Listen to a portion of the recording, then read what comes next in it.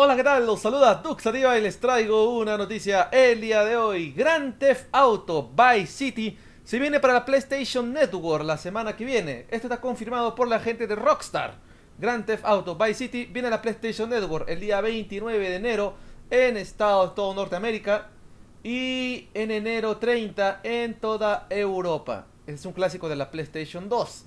Eh, lo malo es que no va a traer trofeos este juego va a costar 10 dólares en la PlayStation Network. Así que si deseas no sé, volver a recordar con Grand Theft Auto City, ya sabes, 29 de enero y 30 de enero y solamente a 10 dólares. Bienvenido Tommy, así que me despido.